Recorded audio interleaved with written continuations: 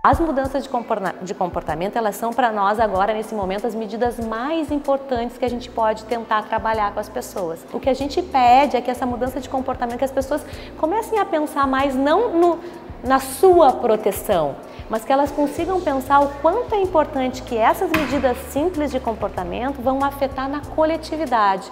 A gente está num momento agora do país e do mundo que ou a gente se une, né, com, em termos de pensar mais no coletivo e para a gente fazer com que essas medidas de fato interfiram nessa curva, porque se cada um ficar pensando só no seu individual, a gente não vai conseguir enfrentar isso. Se a gente pensar que a gente ontem teve uh, supermercados lotados, as pessoas estão tomando uma medida contrária do que a gente falou, indo para o supermercado se aglomerar.